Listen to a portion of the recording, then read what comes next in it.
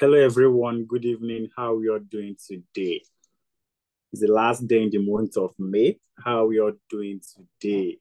Let's converse. I want to hear you. So just type it in the chat box how you feel entirely today. Okay. So I would love to know how you are feeling today. 31st May 2024. How are you feeling? All right. Today is the last day in the month, on uh, the fifth month of this year. And has you know generally has 2024 been for you? Right. I don't know where you are joining from, but with time I'm going to get to know where you are joining from. But first, I want to understand how you feel entirely about the year so far. All right. Femi said great.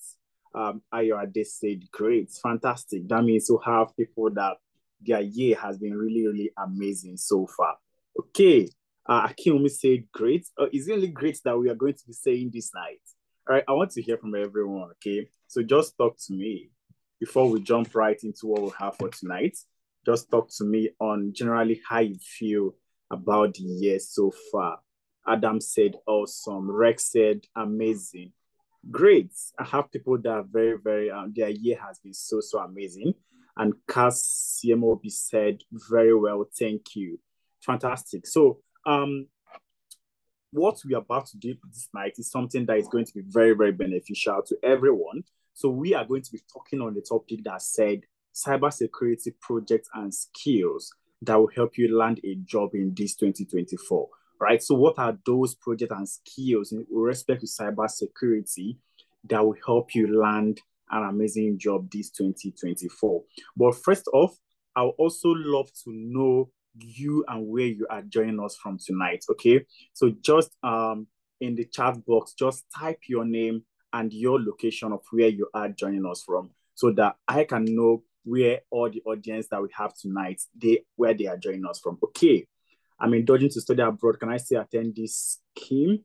Akim, fantastic. You can still attend this session. You should actually be in this session if you are looking to, you know, move abroad because it's going to be very, very beneficial to you.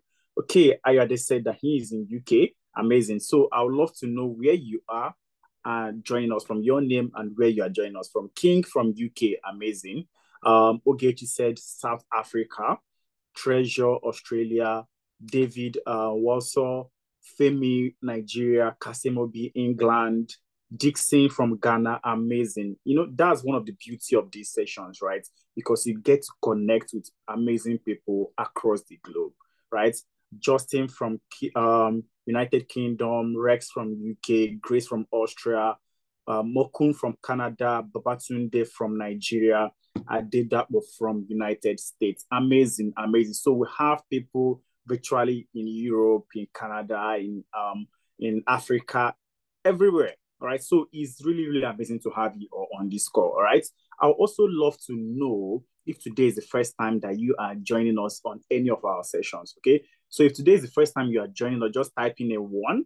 Or if you've been on this session before now, if you've been on sessions of um like this before now, you can type in any number two, three, four, five, as the case may be.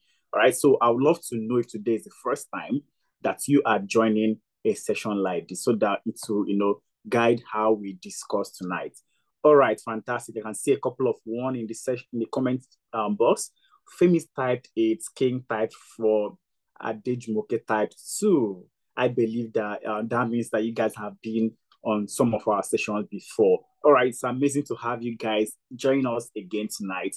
But if today is the first time you are joining us, fantastic. Welcome to the best place to be right now. You know, what I always tell people when they join our Friday session is that you know what you want for yourself, right? Because basically, most Fridays, what we think about generally as youths is thank God it's Friday, all right? How do I get to unwind? How do I get to relax after a stressful week? But you are here in this session. So that means a great deal to us. And it means that you take your own personal development very, very seriously. And I promise you, stick to the call and you are going to get amazing, amazing benefits for being here tonight. Okay, so like I mentioned before now, we are going to be talking about cybersecurity projects and skills that will help you land a job in this 2024, right? But I would love to know what you personally want to take out of this session. What exactly do you want to learn so that it also guide our own discussion tonight? So just type in the chat box, possibly want to know about cybersecurity, just put it in the chat box. You want to know how to transition, put it in the chat box. You want to make more money, put it there. I want to see and hear what we all have in our heads, okay, so that it will guide what our external facilitator for tonight is going to be saying and what I will be saying as well, okay? So what do you want to take out of this session? What do you want to know by the time this session ends? Okay, so just put it in chat box so that it will also guide what we are going to be discussing tonight. All right, so quickly, let's just do that quickly so that we can instantly start off this session. All right, Casimovi said advancement, amazing. King said develop my skill, fantastic. Okay, I'm still waiting for others. So please just put in what you want to take out of this session. All right, so that it will uh, guide what we are going to be doing entirely tonight. Okay, Amma said how to transition to a cybersecurity role. We have to start from and the roadmap. Fantastic. I feel like Amma has fully, you know, drawn a map of everything that we have in our heads, and you are definitely going to get that tonight. Okay. Peter said transition. Mokun said learn new skill to improve my knowledge on cybersecurity. Ayode said an engineer trying to transition to tech welcome to the family. Okay, so I studied civil engineering first degree, civil engineering first degree. You are welcome. Okay, we are going to walk you through how you can be able to make that exact transition. To know more about cybersecurity and develop myself, Ethical Hacking Pro. Amazing. I kill me. I take it that possibly you're already an ethical hacker and you want to become a pro in this exact field. What are the necessary certifications? Oh, yeah, Dave, fantastic. It's nice to have you on the call.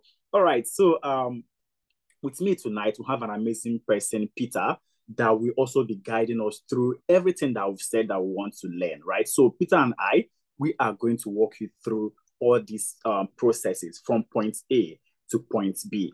Okay, so just stick to the call and you are going to hear and get everything that you need to know. Hi, Peter. Please confirm that you are currently on the call and that you can hear me loud and clear. Hi, Peter. Are you there? Thank you, Super Mega. I'm here. I can hear you clearly. All right. Fantastic. Fantastic. So let's jump right into it.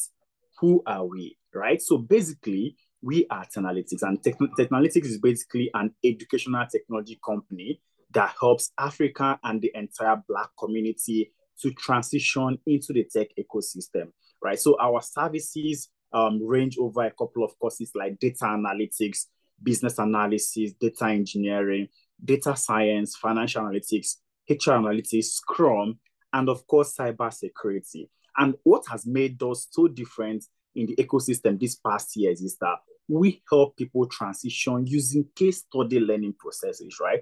So what it means is that when you join any of our courses, it's going to be fully a case study based learning, right? So at any point you are doing any exact topic, maybe you are doing introduction to cybersecurity, you are looking at case studies, right? And we'll, we'll have amazing facilitators coming from places like Microsoft, Sahara Group, Google, come into class to teach our students all these things that they need to know. And of course, our students also grow to work in these amazing places. Okay, so basically, this is things that you are going to be getting from us tonight, right? So this is me. I am Chukwuemeka, and basically, I'm the COO of 10Alytics, right? And over the years, I've had experience in the governance, risk, and compliance area, as well as uh, management consulting before I became the COO of analytics here. I've personally helped close to 500 people transition into the tech ecosystem and land their first job without any prior tech background. Okay, my experience spans around governance and compliance in the banking sector. I worked as control in the fintech ecosystem as a data analyst in the fintech, and of course, as a hospitality consultant. And currently, I am in Nigeria. Okay, and with me on the call is our amazing facilitator for tonight in the person of Peter Ode. Okay, Peter is an experienced, experienced cybersecurity expert, right? Hi, Peter. I don't know whether you want to send into the house before I do the honors of introducing you. No, I think it's fine. You go ahead. I think it's fine. Right. You go ahead. All right, fantastic. Yeah. So, um, like I said earlier, Peter is a an experienced cybersecurity expert with more than a decade experience working as an IT risk analyst, as a penetration tester, digital forensic and fraud investigator, data protection officer, and compliance officer. He's also a security mentor and a coach that's helped close to five um, 1,000 people without any technical background transition into the cybersecurity space, right? His experience spans in areas of training and development in cybersecurity and IT research, and of course, SOC operation, that's cybersecurity operation. And he is also a CSOC and data protection trainer for over 10 government parastatals. He is a member of Cybersecurity Experts Association of Nigeria and also a consultant for the Center for Cyberspace Studies. And he's also an expert trainer in the Cyberspace Foundation. So you can go ahead to follow Peter on LinkedIn, Peter Ode, on Twitter on, as um, Pew Ode. Okay, so Peter is here tonight to, you know, tell us everything that we need to know regarding the skills and projects that will help us land our first cybersecurity jobs in this ecosystem. But what are we going to be doing tonight? I've seen everything that we've said in the chat box, and thank God it corresponds to everything that we have in our own head, right? So, first of all, we're going to be looking at understanding cybersecurity, okay? And then we'll walk you through everything that you need to know regarding cybersecurity, and then walk you through projects and skills that will help you land that your first cybersecurity job. And then we'll talk about the pathway to becoming a cybersecurity expert before we now bring to you about the good news of our upcoming cohorts that's starting next weekend, June 8, 2024.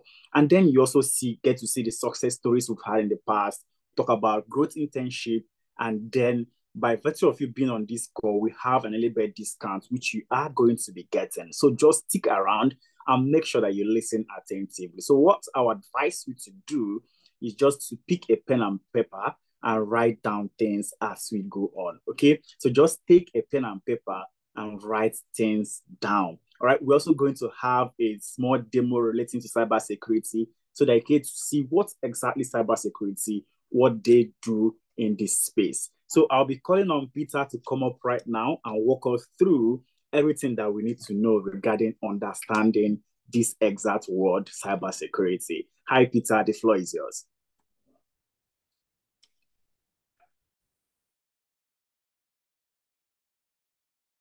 Hi, Peter, you there? Okay, I think um, Peter had a little bit of technical issue. Okay, um, Peter, I, I don't know whether you had one same person asked Daniel Ode. Hi, Peter, is that you?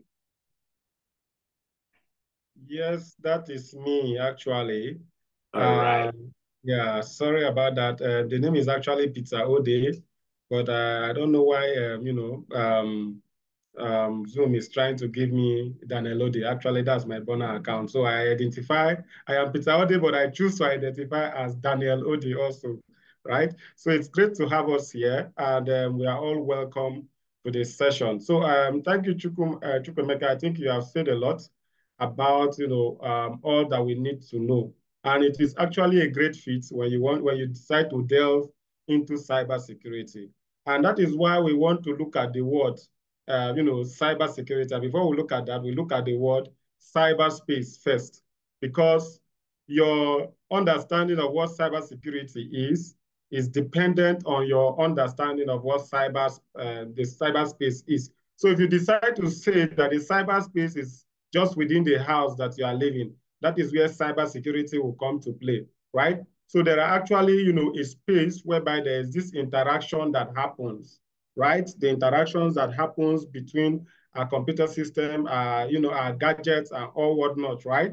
That communication is being carried out, right? So there's that space. So that space, we refer to it as the cyberspace. And in that space, there are other things that we, you know, look as things that are important right? And those things are what we call our assets, right? Now, those are the things that determine what your cybersecurity should be like, right? Or what you should understand as cybersecurity. So if you decide to say that, okay, my cybersecurity or my cyberspace is just my family members, right? Then it means your security will be geared towards your family member. So if you decide to say your cyberspace is the country in which you find yourself, then it will be that your cybersecurity will be channeled towards that country you find yourself. And if you decide to say, okay, my cyberspace is in all the countries in the world, now that is the level in which your cybersecurity gets to also. And if you say your cyberspace is the entire universe, now that is the level in which you understand cybersecurity to be. And why I decided to say this is because the job um, you know, opportunities for you as a cybersecurity expert is unlimited. It is only limited based on what you understand the cyberspace to be, right? Based on what you understand the cyberspace to be. And that is why we decide to, you know, drop, you know, uh, give us, want to give us, you know, a, a, a the, the, the, conceptual view of what the cyberspace is, because actually it was because there's a cyberspace, that is why you know, there's cybersecurity. So if your cyberspace is limited to your phone, it means when you are learning whatever you're learning, or when you'll be learning what we are going to be giving you, because it's going to be an all-out kind of course that will be, you know, that will really impact on you. And just like um, Chukwuemeka said, this is something I've been doing, you know, from the onset uh, of where cybersecurity, you know, came to play, right? I think we started around 2009. That was when it actually came to limelight, right? So, and I've been there, you understand? So we really understand what you need and what you need to know. And that is why I am trying to let you understand that you can go to a particular place and when they are talking about cybersecurity, they will just tell you that, okay, there are five, um, you know, uh, job roles for you as a cybersecurity expert, but that is wrong, right? Your level of cybersecurity is determined by how you understand the concept around the cyberspace. It was hard for some people to even discover that, um, you know, Internet of Things is actually, um, you know, component in the cyberspace. It was hard for people to, you know, agree that, okay, robotics is an aspect of the cyberspace. It was hard for people to, you know, understand that IT itself is an aspect of the cyberspace. But by the time you start using, you know, um, cars that, you know, have to communicate using any form of, you know, uh, medium, right? You understand that at that point in time, that car operates in the cyberspace and as such needs security for it. And the security, which are the controls or countermeasures we are putting in place to ensure that these things that are of value that operates in the cyberspace and they are of value to us, right? That's, you know, security or controls or countermeasures you put in place to safeguard those things is what we actually refer to as cyber security. So we want to lay this foundation so that you understand it and don't limit yourself to, you know, uh, even as an engineer, right? Even as a civil engineer, there is a point whereby your operational technologies, right, meets with the information technology, right, which is what we have today as, you know, IoT, right? And it operates in the cyberspace because you can still work as a security expert, a civil engineer that is a security expert in operational technology. So you should understand that it cuts across everything that have, you know, a value placed on it and allows itself to, you know, be communicated with, right? Anything that can be communicated with and has a value placed on itself, you have to secure, you have to think of how to secure that, right? And that is where we have the concept of cybersecurity. So let's see, look at cybersecurity. Now, what is cybersecurity? Just like I have told us, those you know, countermeasures, those concepts that you put in place to ensure that your assets, those things that are of value to you, right? Those concepts that you put in place to ensure that nobody tampers with them, right? Is what we refer to as cybersecurity. Now, forget about all the Google, whatever you have read. Just understand it the way I'm saying it, right? The countermeasures, the control, whether it is a document you have written, whether it is an infrastructure you go and buy and come and put in the house, whether it's your CCTV camera, whatever it is, right? It, it, it's actually a control that enables you secure a parameter or a perimeter rather, or an asset. At that point in time, that is cybersecurity in practice, right? So cybersecurity is the practice of protecting systems, network, and data from digital harms. Now, let me also tell you that this definition is limited, right? Like I told us, your knowledge is dependent on what you understand the cyberspace to be. And always know that if, they, if they're talking of networks, remember that network is an interconnection, right, of two or more devices for them to be able to communicate and share resources. So the moment there is that connection, it mustn't be through the internet. Understand? The cyberspace is not the internet. And so your cyber security should not be only towards the internet because the moment you start limiting it, you believe that your job roles will be taken. But the moment you expand your concept around the cyberspace, then you think of security mechanisms to put in place. So the moment there's a communication, whether that communication is, you know, NFC, that's near frequency communications, right? Near frequency connections rather, that is being made maybe using your microwaves communicating with you know, another device or your television itself communicating with its remotes, right?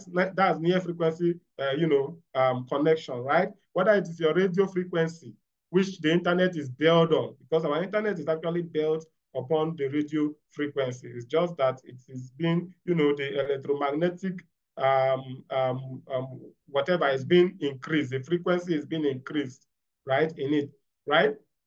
So whether the communication is done using um, uh, um, your RF or your NFCs or your Bluetooth or your infrared or your internet, whatever it is, in as much as it is two or more devices connecting together to share resources, to communicate and share resources, then you see the cyberspace is formed. And as such, you should be able to come up with a mechanism to, you know, prevent people from attacking it or um, disrupting that communication. So um, most times we look at it that the cybersecurity has come to achieve some key terminologies. And those terms, we look at them and call them, you know, confidentiality, integrity, and availability. We look at it and call it the CIA triad, the CIA triad, right? So this is the first point at which cybersecurity comes to ensure in the cyberspace and now let us also shock you that you yourself, as a person, as a human, right? You are also part of the cyberspace. So the cyberspace actually comprises of the people, the process, and the technology. So yourself, as a person, you're also part of the cyberspace because all of us here, we are making use of, you know, digital devices, phones. We communicate with people using them. Today we are in this class and we are communicating it means you are making use of the cyberspace. So there can be an attack on you. You become an asset automatically in the cyberspace, right? So that being said, um, let us move further to looking at, you know, other things. Now, like I told us, the CIA triad has come to achieve confidentiality, integrity, and uh, availability. Now, what is confidentiality? Confidentiality is to ensure that that information or that communication we are having, we are doing that because we are confident in ourselves. We have that confidence in ourselves that nobody else will listen into that information. So we have that confidence that to ensure that, that our information cannot be leaked, right? We have that confidence that whatever I'm telling you, I am telling you in confidence so that somebody else will not be told. As a matter of fact, what confidentiality helps to achieve is to remove, like we use the Nigerian term, amebo, right? It has come to, you know, prevent that from happening in the cyberspace so that people will not gossip each other in the cyberspace. So that is what confidentiality is ensuring in the cyberspace. Remember, we are talking about the countermeasures that we are putting in place to achieve, you know, cybersecurity, right? So one of them is confidentiality. It is coming to achieve confidentiality so that information that are being shared, right, will not be tampered with. And how does he achieve this? It this by deploying a concept known as encryption, right? Encryption, or let's use the broader term for that, cryptography, right? So cryptography is, you know, a technique whereby um, you use to hide information, right? So we can hide an information, send it you know, in an open air, everybody can see the information, but does not know the content of the information, right? So that is cryptography. Until that information gets to the actual person that needs it, that is only the actual person that, you know, can, you know, open that message and then read that message. So encryption is the part whereby the person that is sending the message is hiding the message. While decryption is the part whereby the person that is receiving the message is opening the message, right? So that is to ensure confidentiality. That is to achieve confidentiality. The next thing is integrity, right? And what is integrity? That the information I'm giving to you is actually true and nobody has modified it. Nobody has changed it from what it, it should be, right? So that is what integrity does. Integrity helps you achieve that, you know, that feature so that your information that you are sending out cannot be tampered with, should not be modified. So that component of the cyberspace or of cybersecurity ensures that information being shared are not tampered with. And how does this, how is this being achieved? It's been achieved by a technique, technology called hashing, right? So we can, we will definitely, uh, you know, look at hashing. Um, maybe we'll look at hashing here and then explain some concept, you know, practically. I think that will be what we're going to be doing, right? To ensure integrity of, you know, the information of a message, right? So hashing is a technique whereby you create a kind of what we call a digest of a particular information. So there are several algorithm mathematical models that are deployed to ensure that, don't worry, you're not going to be studying mathematics, so don't run away, right? It is not for us to be afraid, actually. So hashing, the models have already been developed into programs.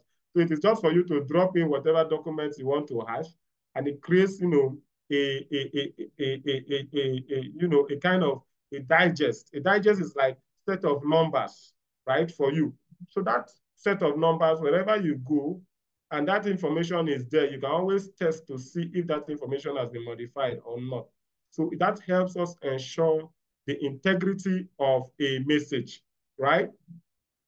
Then after that, we look at, you know, availability. Availability is to ensure that whoever is supposed to get an information gets that information. Whoever is supposed to get a message gets that message, right? So that is what availability, uh, you know, comes to ensure. And, you know, today attackers, a lot of them, you know, are going about trying to, you know, cause problems, um, you know, causing denial of service attacks so that um, information, you know, meant for, you know, a particular user will not get to them.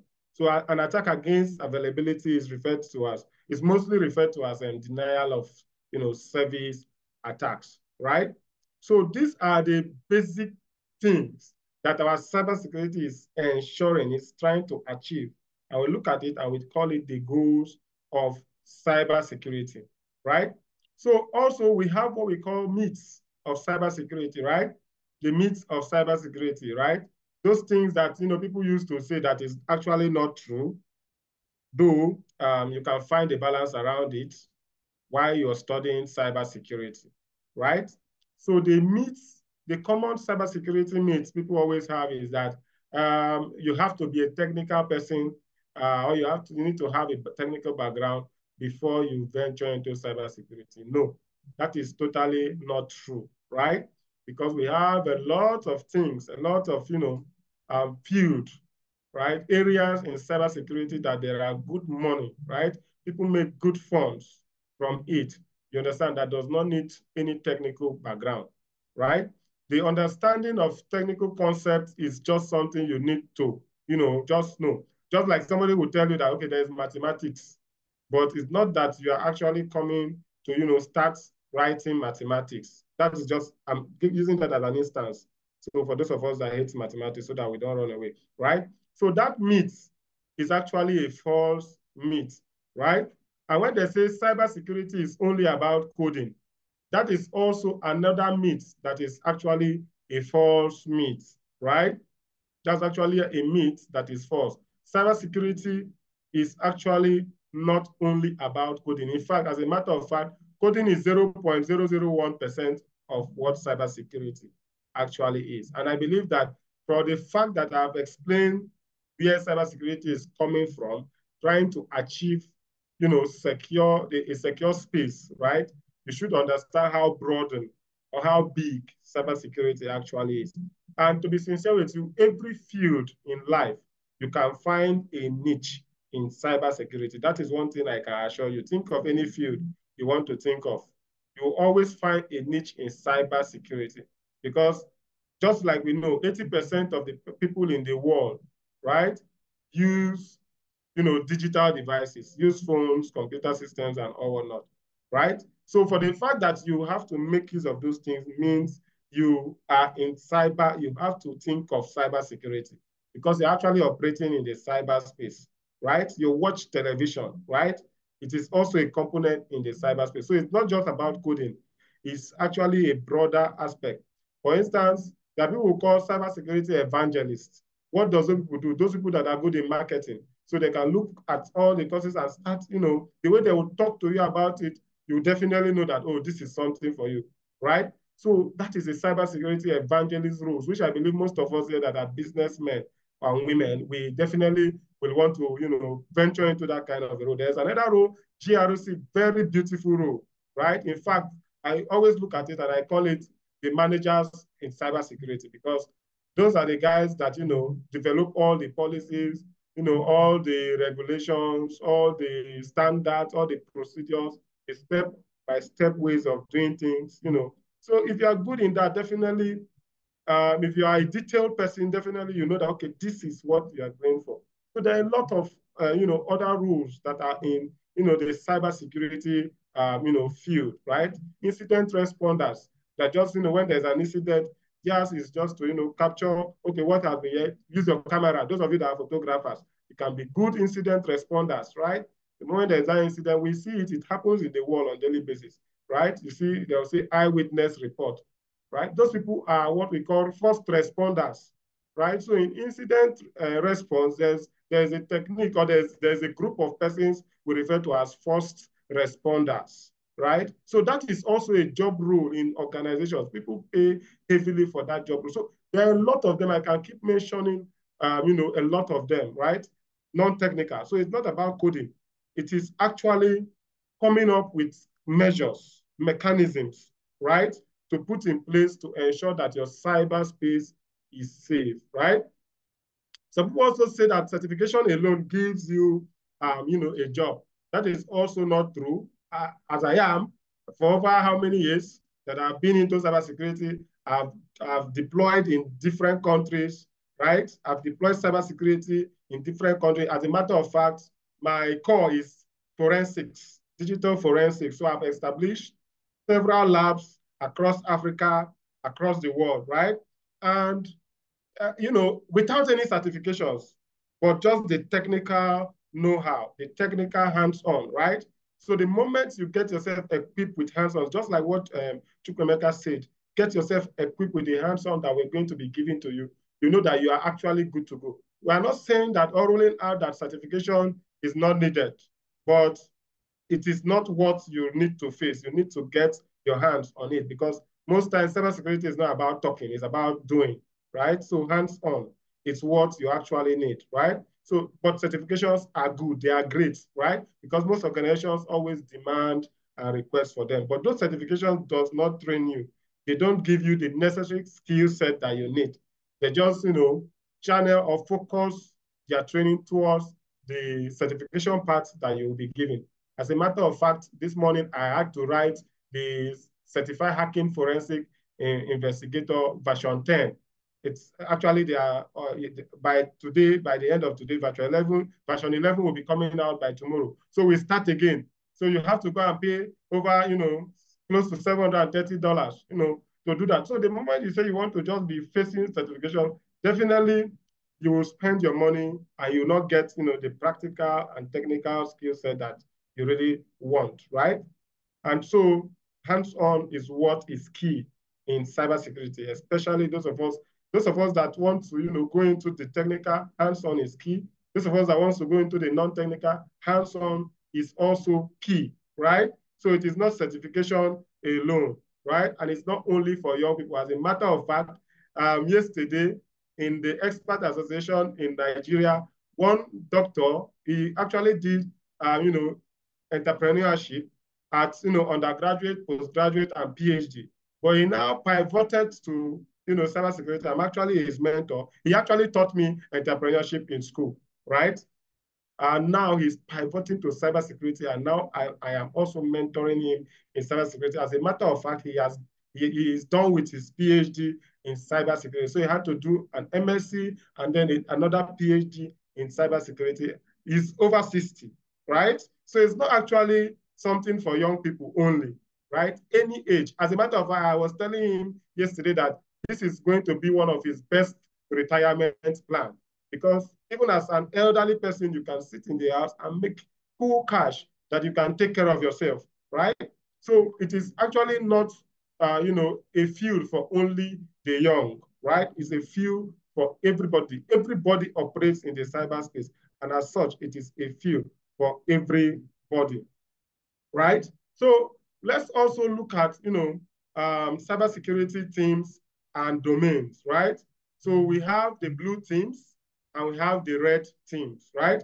The blue teams and the red teams. So I will say that, um, okay, for instance, when I say a domain, understand that a domain is, you know, a place that you have control over, right? So if you're coming into cybersecurity, you, it is either you are in the, the positive or negative side. Now in cybersecurity, there's nothing like a bad, okay, there is a bad negative, right? Which is what we call, you know, the black hat hackers. That's a bad negative, right? And also there is the bad positive, right? The bad positive, who are the gray hat. So there's actually a balance in the domain. But before you, whether you find yourself in the balance sheet, you must either be in the positive or in the negative side, right? So that is why we call it the defensive and the offensive side of cybersecurity, otherwise known as the defensive, the, red, the blue team, and the offensive, the red team, right? So when you are coming in, or when you're starting the course, your mindset or your mentality should be, you know, around which of them am I doing? Although most of our courses, we try to, you know, give you a foundational knowledge in of all that you need to know.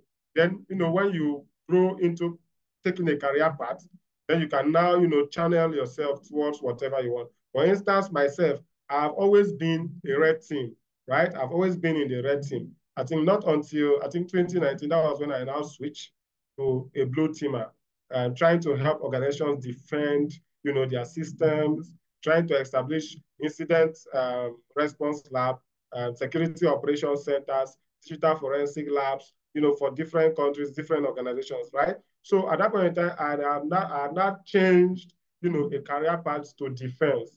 But offensive, just like maybe you do hacking, you do penetration testing for an organization, and you're paid heavily for that, is offensive. You're actually doing an offensive task, right? To get paid because you are permitted to do it. That is a beautiful thing about, you know, this, when I said there's a negative positive, right? That's a beautiful thing about it. You are actually, you know, carrying out an offense, right? But you are being paid for carrying out that offense because you have the permissions to do that, right? So that is the offensive team. So things like bug bounty, where people try to, you know, find weaknesses in systems and then organizations pay them, you know, pay them hugely because I, know of guys, people that have been getting up to, you know, $100,000, you know, just for finding a particular bug in a system, right? Like, you know, what happened to iOS, you know, some weeks back, right? Whereby the up, if you update, I think, uh, if you update to iOS, uh, you know, 17 or so, it bring back whatever file you have deleted. Now, that was a bug. It was found firstly by somebody, right? And he will be paid heavily for that right? So all of these things, bug bounty is can be offensive, but you have the permission to do it and you are paid for it. Penetration testing is offensive. You also have that permission to do that and you are paid for that, right?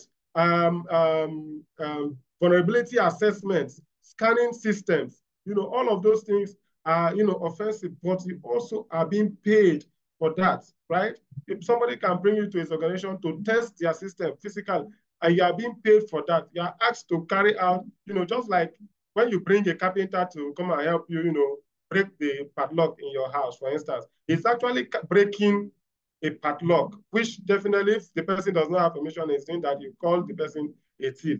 But the carpenter coming to do that because he has that authority, he will deploy all the skill set that he has to, you know, achieve that, right? So that is actually what, you know, offensive is right? Then defensive, uh, you know, all of us, those of you operating that wants to go into security operations center, cybersecurity analyst, right? That's the cybersecurity analyst role, whereby you analyze, you know, you know, networks, analyze packets, incidents, and then respond to them or you know, escalate them. You know, SOC analyst, you want to be uh, maybe a cloud security expert, you want to be a DevOps uh, expert, you want to be an endpoint security expert, a network engineer, you know, whatever it is you want to be that, you know, helps improving a system, a digital forensic examiner or expert or investigator, whichever one you want to do. Now that falls under the, you know, the blue team, right? So the blue team are the guys that, you know, are defending, uh, you know, things that happens in the cyberspace, while the red teams are the guys that, you know, carry out, you know, attacks to protect the organization. Now, how can you say somebody is carrying out an attack to protect you? When the person carry out that attack on you and he is successful, you will now discover that, okay, this place, there's a loophole here, and you now block that loophole so that an external person will not go and carry out that same attack, right? So you employ people to carry the attack, to try to attack you, and you pay, the, pay them for that service, and then they help you block that service or that way, the, the way in which you are you be, you being attacked. And then if somebody that is external wants to carry out that same attack, that person might not succeed. So that is what um, you know penetration testing actually is. So let's look at skills and some projects, you know, to learn. So we have, uh, you know, in cybersecurity, there are skills that you need to know, right? Skill sets that you need to have, right? So we had told us that it is not, you know, purely, it is not a technical stuff. It has a technical component, right? So for those of us that wants to go into the technical aspect, you can see the skill sets you need to know. You need to know networking, right? How networking is being done, how systems communicate, how devices interact with themselves. You also need to know how system is being administered, right? So how does the Windows system, how is the Windows system being administered? What entails, you know, most of us in our Windows computer system, what we just use them for is just to, you know, watch movies, type, um, you know, documents, print documents, you know, but we don't know that we are not even using up to 0.5% of the capabilities of your Windows machine, right? So system administration, both Windows, Linux, macOS, other operating systems, we'll be looking at them uh, for you to have a technical skill set in cybersecurity. Then you also need the knowledge of programming. Now we are looking at the technical aspect or the guys that wants to, you know, go into the technical aspect of cybersecurity, right? Now there's also, there are also the soft skills whereby it has to do with problem solving. So if you are developing a policy for an organization, you are developing a policy for an organization, for instance, you are trying to give them a guide, uh, you are trying to guide them on what to do, right? At that point in time, you are trying to solve, you know, their problem, right? Also, learning how to communicate. When there's an incident, how do you communicate? For instance, there's an incident, you cannot just go to the broadcasting station and start shouting, oh, this incident has occurred, this incident has occurred. No, right? So in cybersecurity, communication is also very key, and you need to learn that, right? I also have security fundamentals. So this, the, the, the guys that develop, you know, your GRC guys also find their way around understanding the CIA triad and coming with policies that will ensure the CIA triad, right? policies that will ensure that your systems are being encrypted or your systems are cryptographically sound, right? Come up with policies, standards for organizations to, you know, follow, come up with procedures for organizations to follow. When we say GRC, we are talking about governance, risks, and compliance. So those are people that ensure that all your risks are being managed well in the organization, right? And then come up with policies on how to mitigate or reduce or transfer those risks, right? And they ensure that all staffs of the organization or people coming to the organization, whether they are third, third party vendors, they must, you know, comply with some certain rules and regulations of the organization, right? So all of those things are what the GRC, you know, guys helps us, you know, understand. So the understanding security fundamentals, that having a general knowledge of what, you know, security is all about. You can also you know, play a role in um, cyber security, right? So um, we have um, a project, yeah? Okay, so SecureBiz is a medium-sized company that provides online financial services to its clients. Recently, they have been, you know, experiencing some suspicious network activity, right? Including um, slower network performance and occasional connectivity issues. The IT team suspects that there might be a potential security breach or unauthorized access to their network, right? So the company has hired you as a cybersecurity consultant to investigate the issue, right? So the first uh, thing is to set up or simulate, um, you know, Wireshark, right? Okay, simulate network environment using packet tracer or a virtualization tool like VMware, VirtualBox, capture network traffic using Wireshark and analyze it for, um, you know, any suspicious activities such as, you know, authorized, um, unauthorized um, connections, data leaks, or potential, you know, malware infections, right? Then um, identify the source and destination IP involved in the suspicious activities, as well as the protocols and, you know, posts, uh, ports being used. Document your findings and provide a recommendation. So this is, you know, one of the projects that, you know, as a cybersecurity expert, you should be able to carry. Actually, we are going to look at that and then, you know, deploy or use some of the tools that we have seen because there are quite a lot of tools in cybersecurity, right? So if you look at the question, it has told us, you know, to look at, uh, you know, Wireshark. We should also look at virtualization technology. We should also look at packet tracer. So I might just, you know, go ahead, you know, for the want of time to make use of just one tool, maybe packet tracer, so that we see how things are done. So packet tracer is just a tool that, um, you know, enables us, you know, set up a network for instance, my brother that, uh, you know, an engineer, that is an engineer, sorry that I'm always using him, actually. Um, I just want, because he definitely understands what I'm talking about. Just like we have the civil card, the ArchiCAD, and AutoCAD that you use to, you know, draw diagrams, you know, for uh, maybe your engineering, you know, tools or equipment or building, right? So that is how we also have packet tracer is a simulation tool, it's a network simulation tool, right? So you can use it to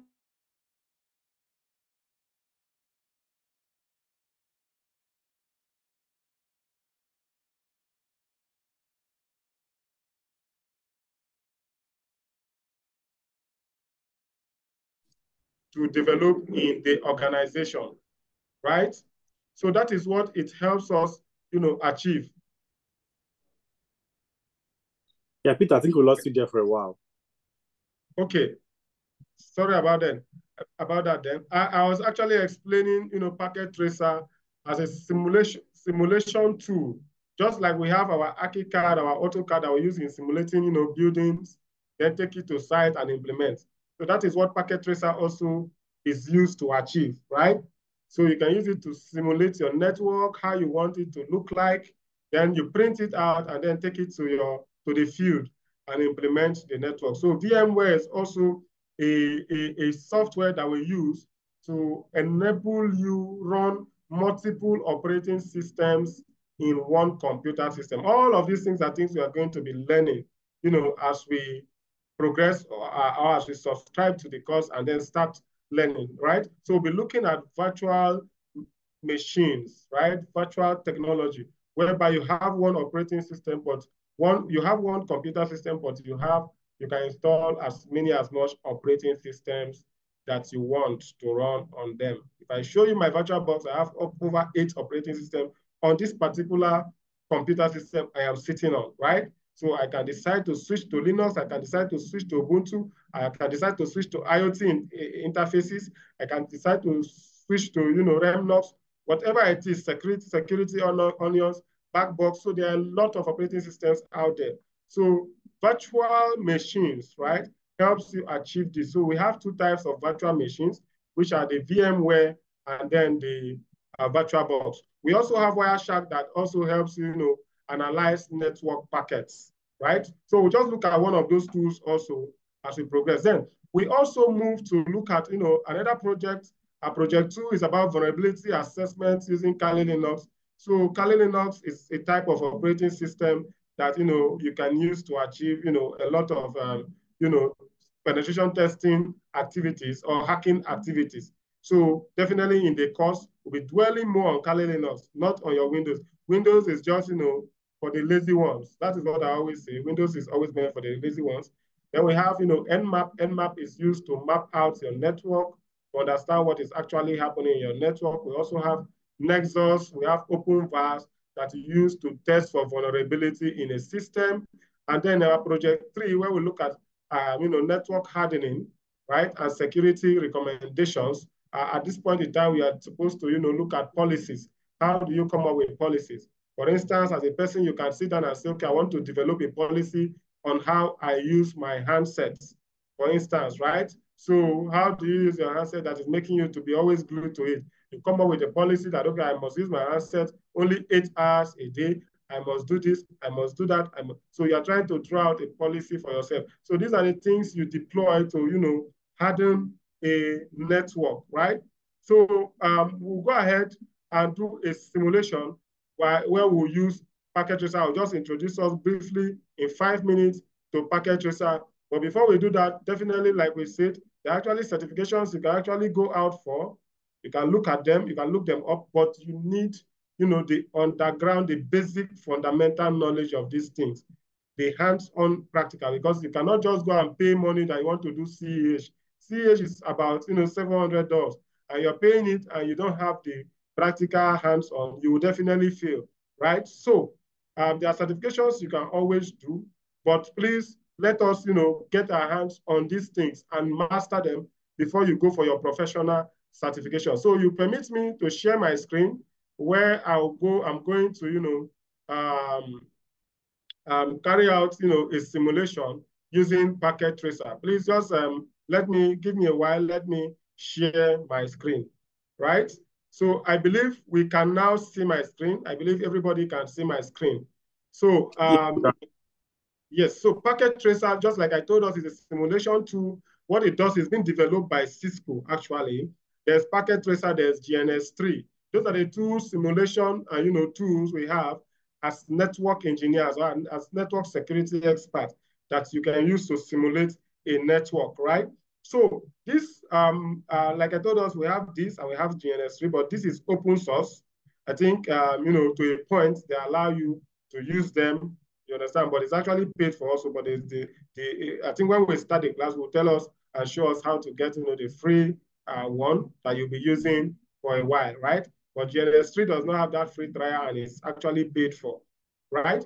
So in Packet Tracer, we have almost all that you need to know about your devices. So what Cisco always do is whenever they develop any new device, they come and add it in the Packet Tracer. So if you look at my packet tracer, um, definitely I, I will not want to walk us through all of the menu bar and all those bars that are up here. The important thing is what is below. You can see, you know, we have, you know, different, different uh, palettes here.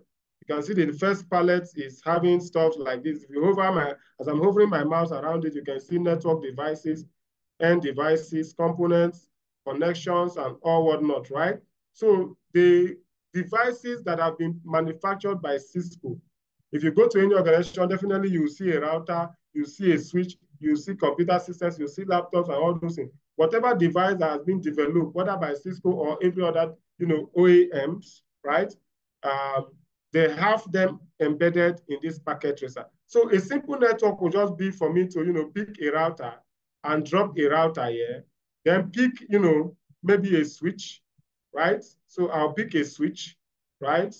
I'll just pick this switch and drop the switch. I can also go and pick, you know, two end devices. I'll pick a desktop and I'll now pick a laptop and then drop them here, right? Now, these are what I've done. These are, the router and switch is a network device. While we all have our end devices, a laptop, our phones, our computer system, desktop, they are all end devices right? So I can also go ahead and then connect these devices together. So I'm using the router to connect to the switch. So a router is an intelligent device that allows you, you know, to carry out, you know, um, that does routing for us, right? Routing over the internet. So I'm connecting our computer systems, you know, to the switch. The switch is actually like an extension box that allows us to, you know, uh, connect multiple, you know, end devices because the switch has several ports. So most times when you go to organization, you see those long stuff, those hardwares that are there, most of them are switches. They are actually not routers, right? Most of them are switches. So this is actually how a network can look like in an organization. Uh, you can still go ahead and, you know, power on the router, right? You can go ahead and power on our router. Um, let me remove this palette so that I can, you can see where. So um, we can power on our router at this point. Let me zoom in. So we can power on the router. Okay, so my router is getting on. Um, let's wait a while for it to come on. And when it comes on, you will notice that the red lines we are seeing, the right, these red lines we are seeing on the packet tracer will turn to be green. So the green line indicate that our PCs are actually connected to the switch, right? So a switch doesn't necessarily need to get on. It's just like an extension box. So the moment the extension is plugged to an electric, you know, supply, it definitely, you know, feeds that supply. It definitely, you know, feed that supply so you can connect whatever you want to connect. So most times when you go to the organization, you see those cables connecting to stuff. What they're actually connecting to are switches. The router can just be a small device sitting, you know, somewhere, right? So that is what, you know, happens in our networks, right? Where our router is taking a little more time, but when it comes up, you notice that, you know, it is actually, um, you know, uh, it will become green, right? Let me try this, if this can give us, or can be faster to get on so that uh, we look at some basic, um, you know, configuration. Now, just like I explained to us that the router is an intelligent device, right? So intelligent in the sense that it is a router that determines the IP addresses that, you know, our systems in the network gets right? It is the router that determines that. So the router gives or issues IP addresses to all the devices that are connected to itself, right? So that is what the router helps you achieve. And I've explained the switch. So the router and the switch can be referred to as, you know, network devices, right? And if our router is on, you can actually, you know, tell it to assign IP addresses to um, you know, the devices that are sitting here. For instance, this is our router. You can see we can come here and say, okay, uh, on this gigabit ethernet, okay, let's turn this on.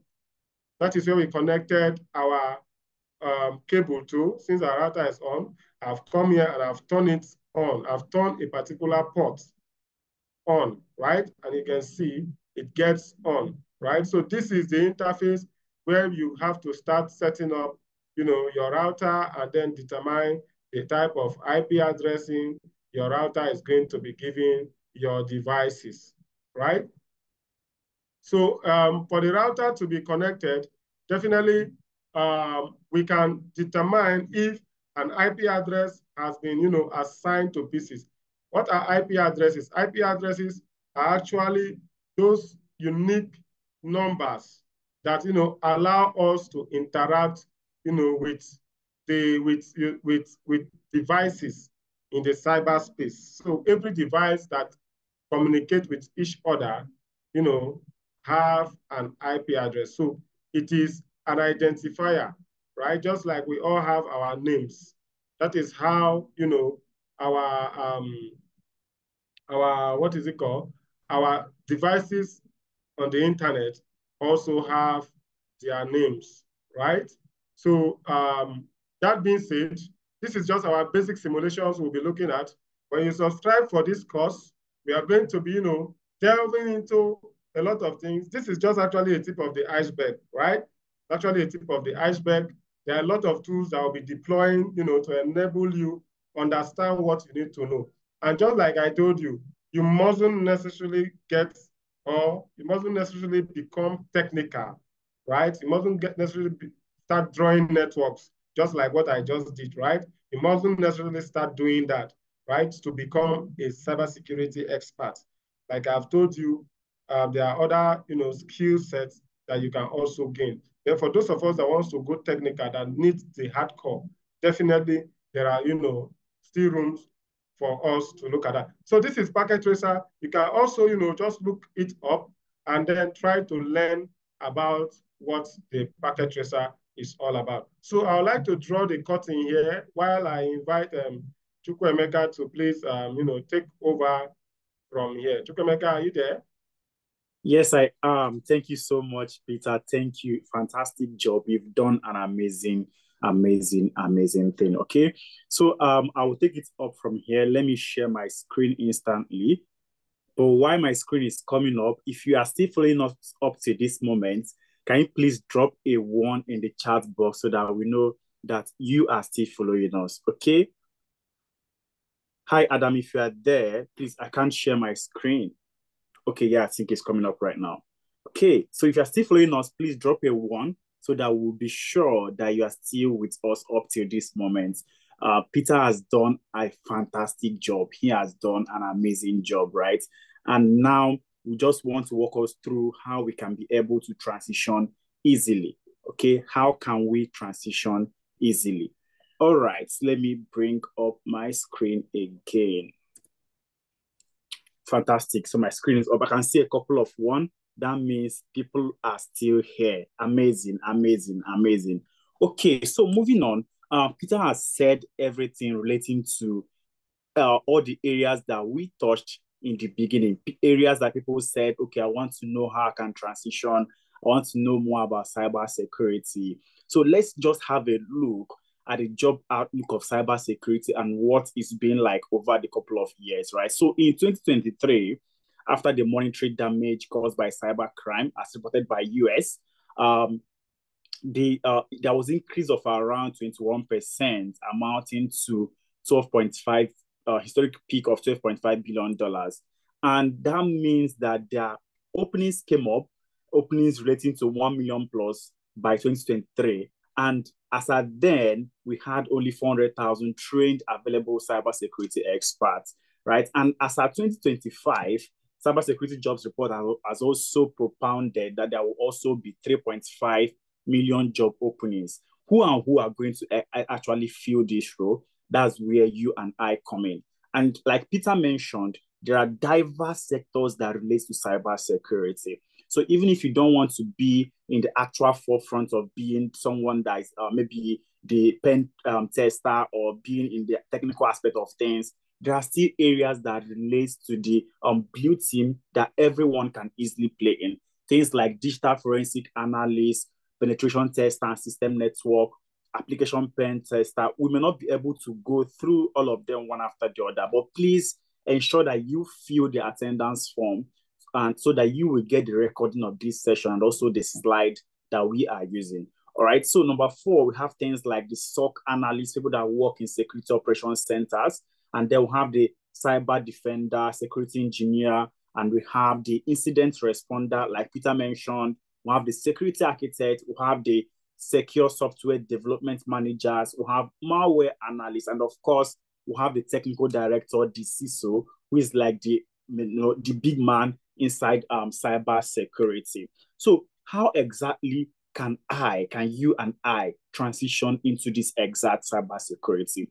Peter has already mentioned first thing that we need to know, which is identify your target role. And good thing here is that everyone on this call already has picked interest in cyber security. Next thing is to educate yourself and gain practical experience. And that is where 10Alytics come in, right? So we offer premium services that will help you get enough education and practical experience relating to cyber security. And also the number four, which is developing employability skills, right? So it's one thing to have the skill and competence.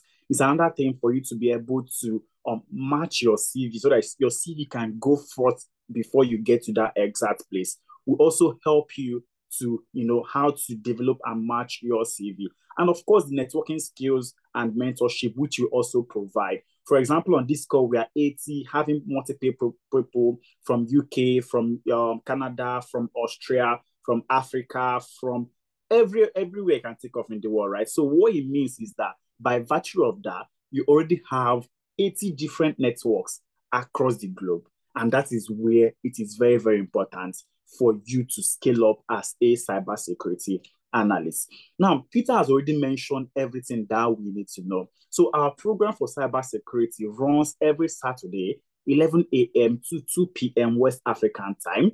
And on Sundays, 2 p.m. to 5 p.m. West African time, right? So these are our designated times, right? But once you join the sessions and maybe everyone the call said, okay, we want to have a session by 4 p.m., this is also possible. And like we have mentioned, cybersecurity is a very, very lucrative area. So in UK, a cybersecurity analyst earn as high as 57,000 pounds. In Canada, they earn as high as 1,140,000 Canadian dollars. And the US, they earn as high as 105,000 US dollars.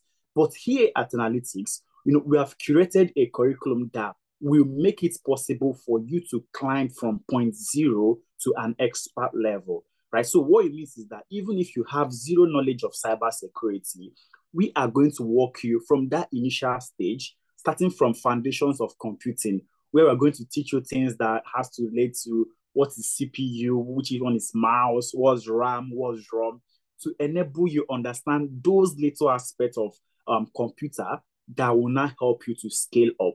So after it will now move you to networking, where you also get to learn things that have to do with IP, HTTP, HTTPS, for you to be able to understand all those terminologies, right? So our courses are going to be beginner friendly that even if you have zero knowledge of computer, you can easily transition to become a cybersecurity analyst. Then after we finish these first two initial foundational courses, we'll now move you to introduction to cybersecurity, where we'll tend to walk you through the how cybersecurity actually came about, everything that have, ha- that have happened historically with respect to cybersecurity, before we now move on to information security principles, that will talk about the NDPR if you're in Nigeria, the GDPR if you're in Europe, and the ISO standard, ISO 27001, and from there, we move on to talk about offensive and defensive cyber security before we talk about cryptography basics, which has to do with uh, you know encryptions, right? So we are going to teach you all these things. Remember, like I mentioned, all the key learning areas that we have, they are all practical based. So it means that once you are done training with us, you can comfortably have a portfolio of practicals that you have done that can comfortably present to recruiters as your areas of experience. So when you are done with cryptography basics, you move to cyber threats and attack vectors. Then you now do things like network security. How do you secure a network? Endpoint security, web and application security. How do you secure your web and applications? And then cloud security. These days, everything is on cloud. How do you secure that exact cloud? And then incident response and forensics and of course, cyber security career and certifications. And you are going to learn tools like um, uh, VirtualBox, VMware, Metasploit, Linux, Zap, Nmap, as the case may be, because these are all tools that you are going to be using as a cybersecurity analyst. So basically, the program lasts for a period of four months where you're going to learn immersively in the class for three months, right? So you're going to do all these things that we've said for three months, after which you have a capstone project and then move on to your internship. So we are going to give you also one month to intern with us we're going to provide with you real life practical case studies for you to work on. So by the end, you are done being baked by 10Alytics. You can comfortably come out as a full-fledged cybersecurity analyst. So why exactly should you train with us, right? So basically, we have thousands of training institutes out, out there. But what has made us to stand out over these couple of four years that we, we have been playing in this industry is that we have helped over 2,000 people transition into getting their jobs, right? So we don't just teach people to uh, you know learn, we teach you based on curated experiences that our facilitators come into class right? And these are things that recruiters are looking out for So once you have that exact skill, you can easily transition to become a full cybersecurity analyst. And we tend to also bring in industry standard facilitators. People like Peter are going to be in class teaching you everything that you need to know. So if you know Peter very well, Peter actually plays on a larger scale and he's actually a renowned cybersecurity expert in cyberspace, right? And these are people that you are going to have in your classes. And our curriculum is also based on real life expectations. So the way the world is advancing, that's how we also, you know, keep remodeling our curriculum because we have experts coming from the field to the class. They can easily say, okay, this is what's obtainable outside there at the moment. This is what has left outside there. So we tend to always optimize. And also the training is blended in such a way that it accommodates your own need. So we have live classes every Saturdays and Sundays, and those live classes are also recorded. So what this means is that even if you missed any class, maybe you had work or you had emergency, the classes will always be recorded and uploaded to your Google Classroom. So by the end of the day, you can comfortably watch all those videos again. Or peradventure in class, you didn't follow through easily, you can still go back to that exact video to watch everything that the facilitator has said in the class. And our classes are tailored to help you land your first job. How exactly do we do this, right? That's also because we've modeled what we call the employability services into three levels, right? So aside the skill and competence that we give you, we also provide you CV review sessions because that's what I always tell people.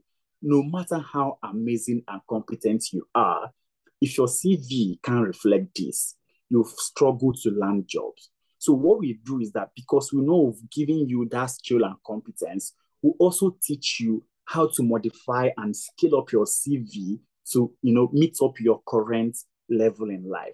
And also teach you how to match your CV with jobs. For example, it can have knowledge of um, VirtualBox, but the job advert is saying we need someone that has knowledge of VMware, right? So these are the same tools, right? But it's just different, different languages. So you have to be able to match your CV to reflect what that exact job is saying. Because if you don't, the applicant tracking system has tendency to sieve out your own CV and say, oh, Chukwuemeka do not have necessary skills for this job. So we teach you how to do all these things so you can comfortably do it on your own and be able to apply to multiple jobs. Because what we've noticed is that people struggle to get jobs these days because we just go to LinkedIn, we click on easy apply, easy apply, easy apply with one exact CV the tendency of you being called back is very, very slim. But if you bring out time to match your CV to that exact job, which we are going to teach you how to do it, you will see the level of improvement with respect to being called back. And of course, we also have sessions like LinkedIn optimization, where we teach you how to optimize your LinkedIn, where recruiters also can reach out to you from. And of course, Upwork optimization, if you want to play in the contractual space where you want to be in Nigeria and work for countries outside there, you can comfortably make use of the Upwork um, review session that we are going to give to you. We also have sessions that talks about how to navigate the job market. So in this exact session, we bring in experts across the globe, recruiters in UK, recruiters in Africa, recruiters in, in Canada to come to class and teach you these are the expectations at the moment. These are things that the job market is saying so they can comfortably, you know, place yourself in that exact scenario to be able to land that job. And of course, number five, which is job and interview prep sessions. So what this means is that if you get a job interview, you can comfortably also book an interview prep session with us where we teach you and tell you things that you need to know. How do you use the SEAT approach and the STAR approach to answer interview question? Or is it once they ask you, hi Chukwuemeka, can we meet you? you start saying, oh, I'm Chukwuemeka, I'm from here, I have 20 children, I'm married to five. Recruiters do not want to know all those things. So they want to be able to hear you answer their question using the relevant approach and framework that is outside there. And these are things that we are going to teach you. And also, we have the recommendation and reference letter. So, what this means is that if you want to move on in life and um, peradventure, your next recruiter said, Oh, we want to have reference from the last place that you said you consulted from. Because what we always tell our students to say is that, oh, I consulted for analytics on so, so, and so, right? So by virtue of you training with us, you are working on real life case studies. We the only thing that we do is that we codify them so that it will not violate um, data protection laws, right? So you can comfortably say that you consulted for analytics on so, so, so, and so, maybe using Packet Tracer to set up network for 10 staff that joined an organization. And you can comfortably present a portfolio to, um, um, you know, reflect this. Once that recruiter reach out to us and say, hi, analytics did so, so, and so happen, we are always available to provide recommendation and reference for you. And the level two is our weekly mentorship sessions. So we also bring in industry experts into the classroom to mentor the upcoming guys. So some of us struggle to transition into tech ecosystem because we never had mentors, right? But this is a gap that we are also filling to make sure that you have people that are going to handhold you every step of the way. And number eight, which is the on-the-job support. So if you get a job and you are currently struggling to find your fitting, we are also there to help you one month so you can comfortably stand on that exact job. So all these things we have put into place to bring you to number three, which is our promise to you that one month after training with us, we must get one job interview, right? So this is an assurance, and that's because we've done this for the last close to five years, and we've helped more than 2,000 people transition. And what do we do first? We give you the skill, we give you the competence, we give you the employability skills that you also need, and then we push you out into the job market. At that exact stage, you are already a full fledged uh, person. You can comfortably walk in desert cyberspace and can communicate and you know easily use your soft skill. And we also have sessions where we tell you how you can freelance and fully get remote jobs and earn in dollars. So make sure you fill this the attendance form so that you will get the slide and you can go through the link and watch the um, sessions that we had in all those places. We teach you how to make use of the Glassdoor, Upwork, Wellfound, Indeed, Blessing to get jobs. Because what we've also noticed is that sometimes people struggle to get jobs because they do not know where to look, right? So we are going to give you all these multiple sites, also bombard you with enough follow-up to track and make sure that you are applying to job. And what we also do is that at a, at a point we notice that you are applying, but you're not getting called back, we're going to have a one-on-one session with you and look at your CV and portfolio so that we can be able to say, okay, this is where the problem is from. So finally, our next cohort is starting June 8th, right? And by virtue of you being here to this moment, we'll have a 20% discount for you. And what this means is that the course goes for $750, 625 pounds, 730 euros, 1,125 Canadian dollars, and 900,000 naira. But instead of you paying this full amount, we've given you a 20% discount, meaning that you get to pay $600, 500 pounds, 580 euros, 900 Canadian dollar, or 720,000 naira, right? So I always advise people to take advantage of these discounts anytime that they see it. Because the truth is that just as far back as last two months, this course was selling for just 450,000, right? Last month it was selling for 600 and people kept postponing and price kept increasing. So I always advise people to take advantage of the pricing anytime that they see it so that they will not say, oh, the price has moved. And this discount is only available for the first 30 people to join the cybersecurity program. So once that exact 30 slot is filled, we revert back to the full amount. If you want to secure your slot, you can easily use also the first payment option, right? And then one month into the classes, you can now make your complete payment. So what this means is that you can make pay $400 to secure your slot, 350 pounds 400 euros, 600 Canadian dollars, and 500,000 naira to get into class. And then one month into your class, that means by July 8th, you'll now be expected to make the complete instrumental payment of $200, 150 pounds, 180 um, euros, 300 Canadian dollars, and 220,000 naira. How do I start this journey? So my colleague is going to drop the Mainstack link which is where you are going to start your enrollment journey from. So what it means is that just simply click on that Mainstack link. So I'm going to walk us through how to join that exact um, start off our journey. So click on the Mainstack link and it's going to take you to our uh, our um, landing page, right? So once you click it, you get to see the enrollment center for 10Alytics, right? So what do you do at that exact moment? So what you've seen is just the enrollment center. Simply scroll down and you are going to see the cyber security program. Okay, if you scroll down, you will see cyber security. So what you will simply do at that moment is simply click on cyber security. So I've clicked on cyber security and it will bring me to the Mainstack checkout page. What do I have to do?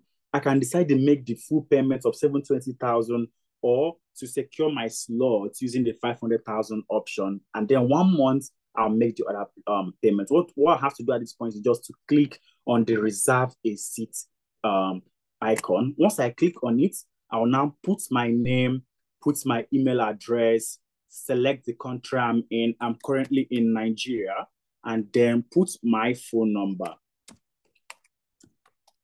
Once I do this, I'll click on proceed, right? Once you click on proceed, you are going to see the checkout option. So at that point, what you simply have to do is to either use your card to make payments or use um, the transfer option. Now, I am getting the NGN option because I am in Nigeria. So if you're in Canada, you're going to get the option of Canadian dollars. If you're in US, you're going to get the option of US dollars. If you're in UK, you're going to get it in pounds and so on and so forth, right? So I can decide to put my card here and click on pay, simple as that. Or I can decide to click on transfer and then Mainstack is going to provide me with Paystack Titan account number to make payments to. So I'll simply copy the account, go to my own bank and make that transfer. Once you are done making these payments, the next thing you need to do is to simply go back to that same link that you enter through, go back to that enrollment center and click on um, um, that you want to um, you want to upload your receipts, right? So once you click on it, I'm going to bring up my screen to show that also. Once you've made payments, go back to the enrollment center and click on upload your receipts. And once you've uploaded your receipt, we are going to send the welcome kit to you, right? We are going to send the welcome kit to you once you've uploaded, once you've clicked on the upload receipt, put in your details, and someone from our team will reach out to you. So at this point, I don't know whether we have any question before we continue, before I show us some of the amazing success stories of people that have been with us in the past, so that we all we know that we are right here to help you transition. So if you have any question at this point, you can use the raise hand icon and I'll ask you to unmute, or you can drop it in the um, you can drop it in the comment section and we are going to pick it up from there. So do we have any question from anyone at this point? If you have any question, you can use the raise hand icon and we are going to ask you to unmute or you can drop a question in the chat box and we are going to pick it up from there. How do I verify if I have signed the attendance form? Okay, if you're not sure, you can try, you can register again, okay? Are we only limited to two instrumental payments? Oluwamuyiwa.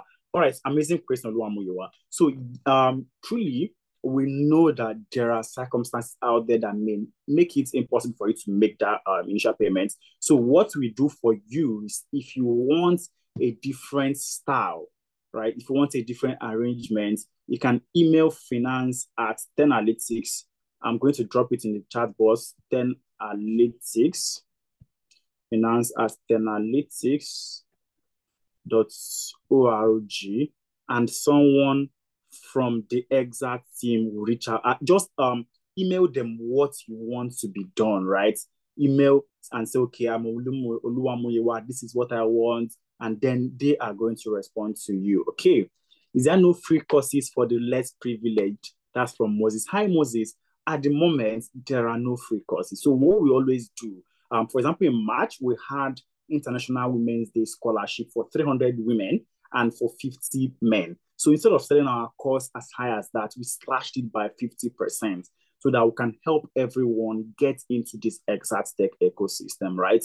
So as at then, our courses sold for as low as um, 450. As of last year, this exact course is sold as low as 150, 100,000. But we are all in this economic condition and we are seeing how things are unfolding going forward. Okay, what happens if after course completion and one is yet to be fully qualified? All right, fantastic question, Rex. So what we give you definitely is fully enough for you to be qualified, right? But the problem is that some people do not make that extra effort, right? Because the truth is that we have a class of possibly 50 people, 20 people, and then 15 of them are serious. They come to class, they do their assignments, they do their capstone project, they attend mentorship session, and there are still people that don't come to class. Now, in the end, the possibility of the other 15 fully grasping and that people that don't come to class not grasping is high, right? But what we also make sure is that we call people that are lacking behind and say, okay,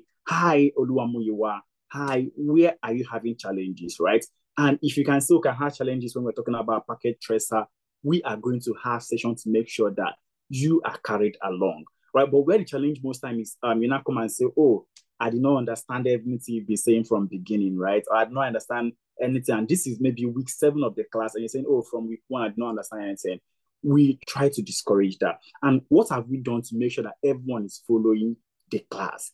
After classes on Saturdays and Sunday, on Wednesday or Thursday, we have what we call the drop-in sessions, where people come to class just one hour, and then you can now ask questions in areas that you are not understanding. And it's just like a dialogue class where you come in, you say, okay, hi, Peter, you taught us packet tracer last week, but I did not understand anything regarding to that area. These, these, these are my challenges. Peter is going to walk you through that packet tracer again, right? So after class on weekend, we have one hour drop-in session within the week so that Peter will just follow up with you and okay, hi guys, what's going on? Are we having any challenge? And that's the exact moments that you are required to come up with that exact challenge that you are having. Okay, I don't know if that answers your question, um, Rex. Okay, do you factor those who work also, King? Yeah, hi, King. That is highly why the program is on weekends, right? We don't do any class work during the week.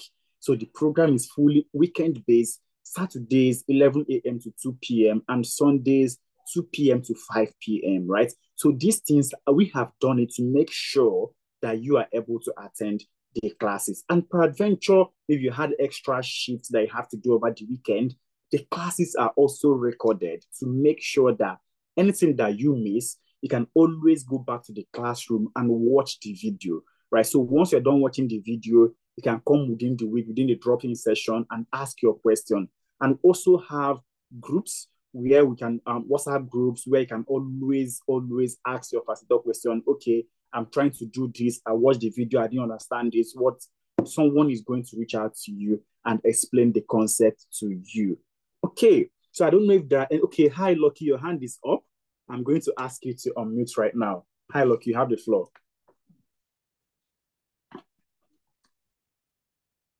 Hi, Lucky. Are you there? Hi, Lucky. I'm going to ask you to unmute again so they can ask your question. All right, so I think Lucky is, is having challenge. Lucky, I've asked you to unmute. You simply have to accept and then you can comfortably speak. All right, Hi. fantastic. Hi, Lucky. Uh, it's well, I think the question has been answered. Is I'm currently at work right now.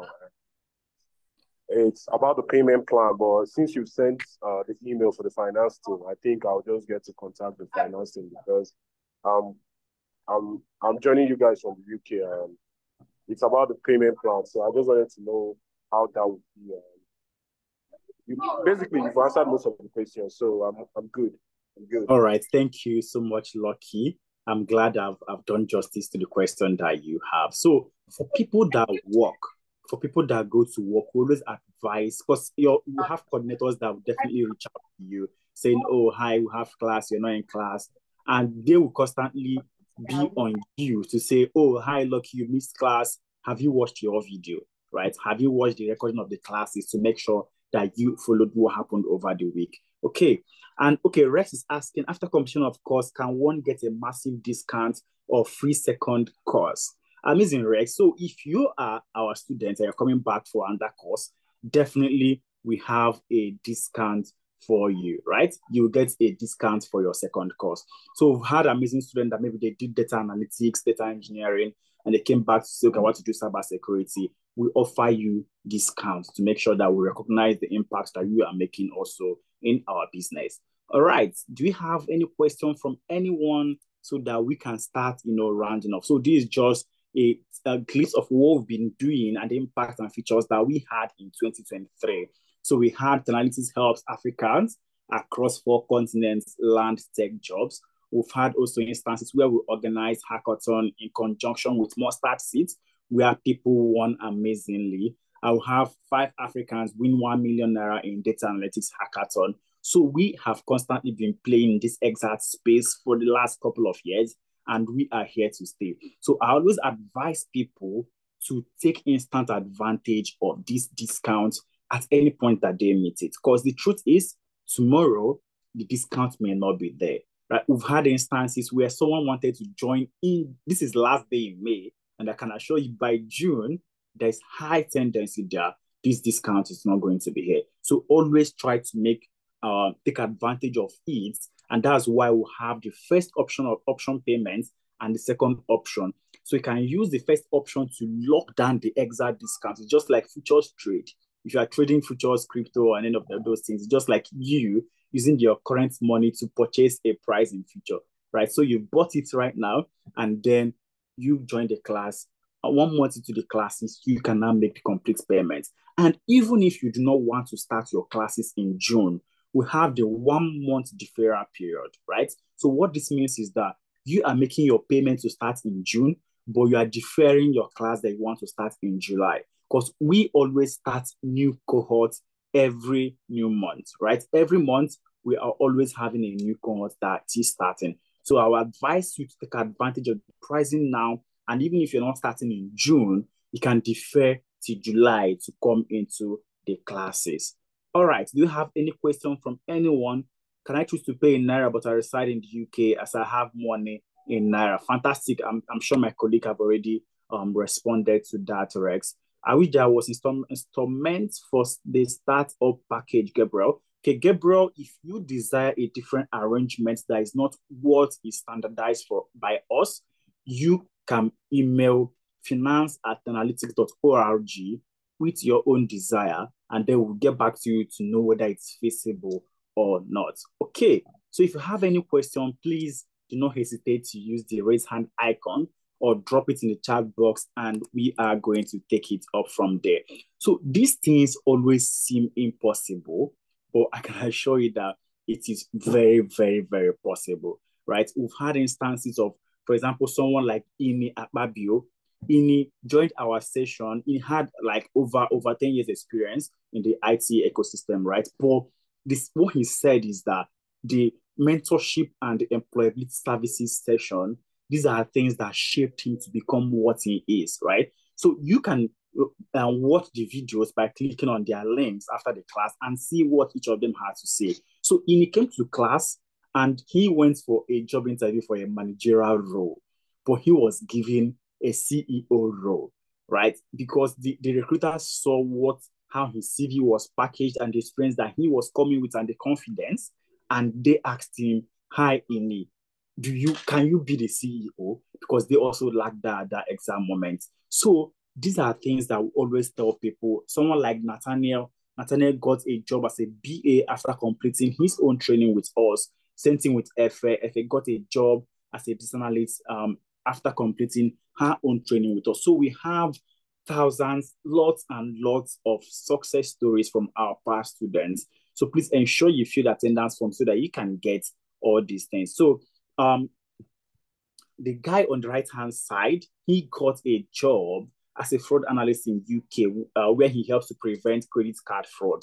And that's after he completed his own sessions. And what he had to say is that our mentorship and interview prep helped him, Oluwatosin, to get a job. And for someone like also Tony, Tony landed a job with NHS, Olubemi also landed a job in Canada with Land Depot, and so on and so forth. So we have amazing people. Then someone like Abigail moved from being a care worker to becoming a business analyst in Canada, working with one of the renowned um, companies over there. So I'm going to play the video of Ikmat so that we hear what Ikmat had to say relating to our program. So I'm going to play the video of Ikmat right now. It's coming up, so please stay on the call while I bring up what Ikmat had to say.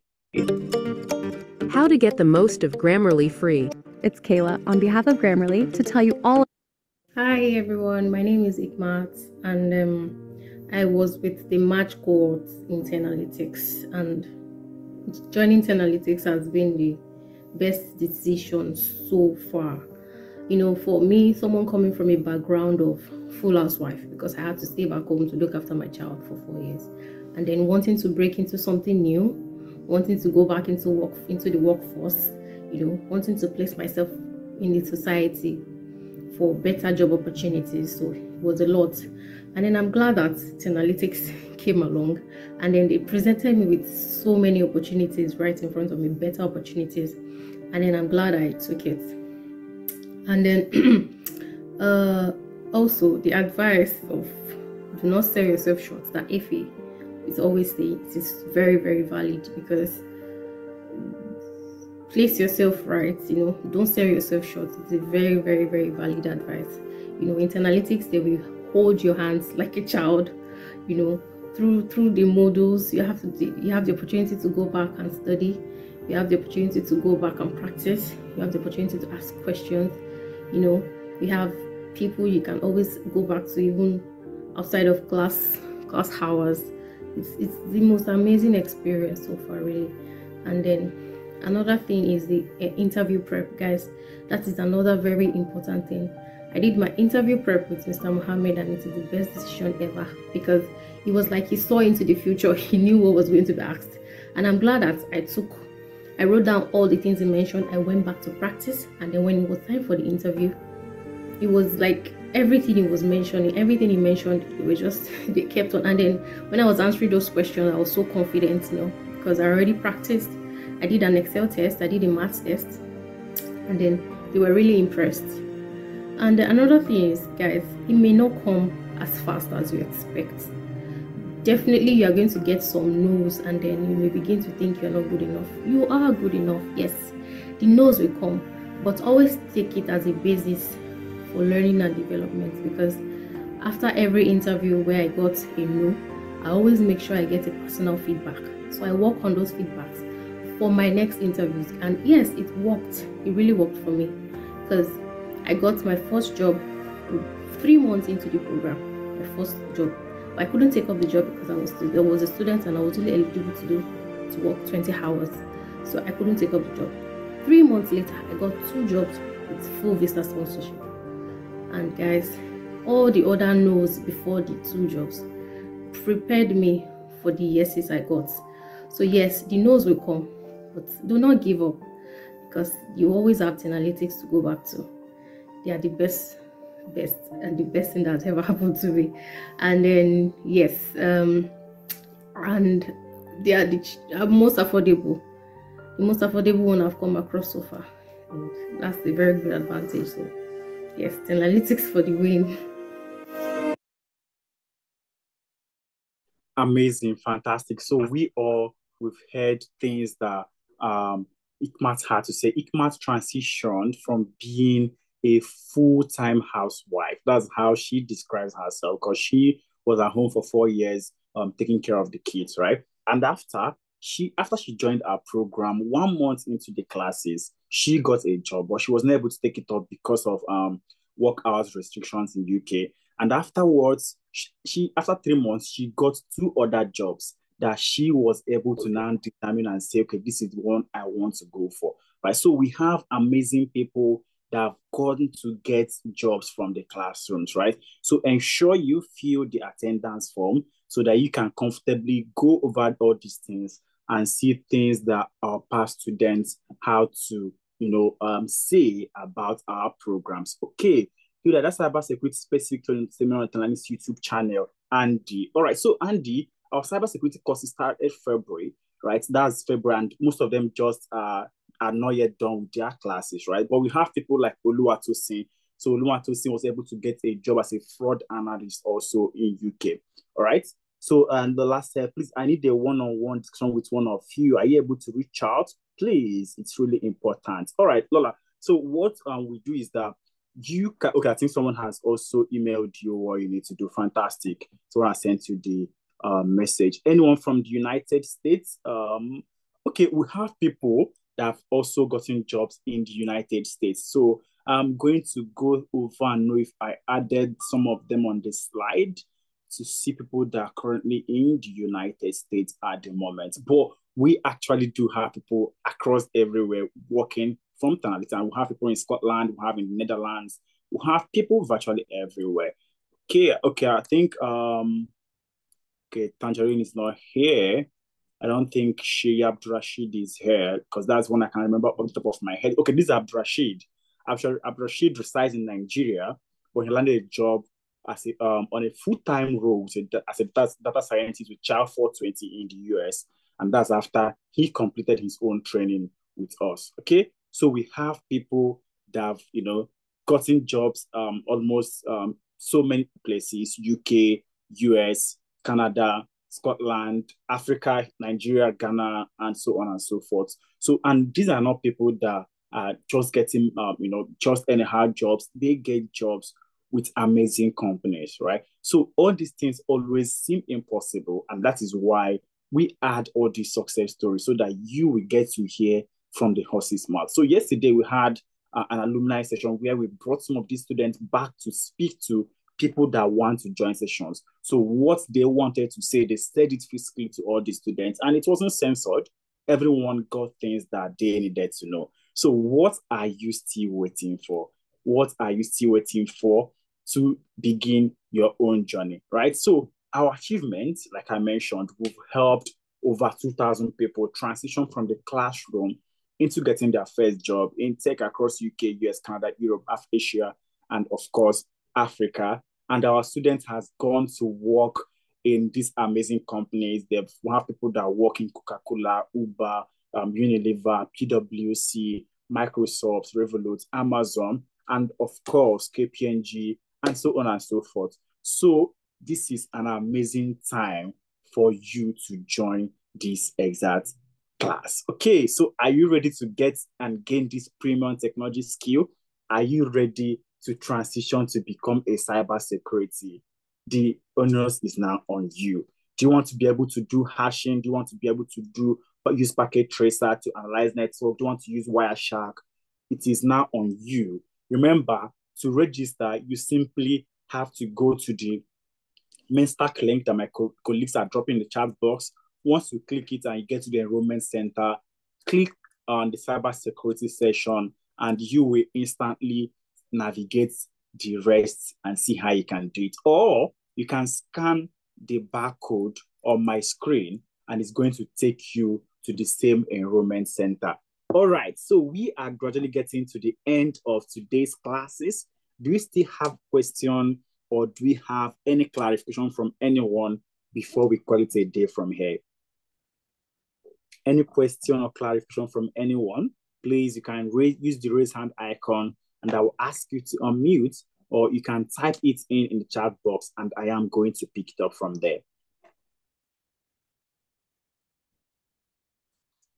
Okay, I don't think people are speaking. Hi, Peter. Do you have any closing words, anything you want to say to our potential students before we call it a day from here?